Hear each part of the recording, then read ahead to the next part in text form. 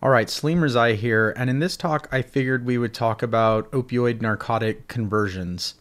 Now, to be clear, in patients coming in with pain, I will try and give medications that are opioid sparing. But in some cases, this is just not possible. Your pain is just not going to be well controlled. And so it's probably worthwhile to just spend a few minutes on what the appropriate dosing of morphine is and how you convert between different opioids. So the first thing to start off with is the appropriate dosing of IV morphine is 0.05 to 0.1 milligrams per kilogram. It's not just 4 milligrams of morphine. So we should probably know how to dose this right off the bat. Now, there'll be some wiggle room here. Older patients, patients on chronic opioids might need less, might need more, respectively. Now, the nice thing here is that to convert IV morphine to PO morphine, all you have to do is multiply by three.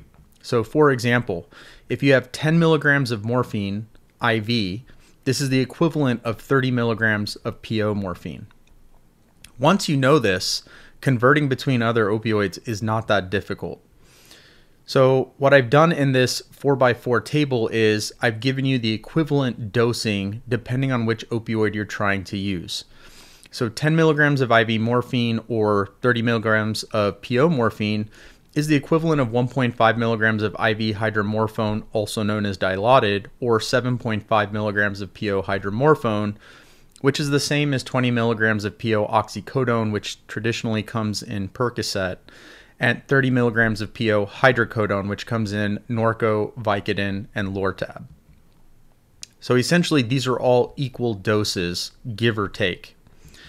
Now, what I've done is I've created this narcotic conversion chart, which makes it really easy. Once you know what dose of what medication you're giving, now you know the ratio of how to convert and give the appropriate dosing to your patients. Well, that's what I have for you in this talk. Let me know what you think, questions, comments. Thanks for tuning in, and until next time.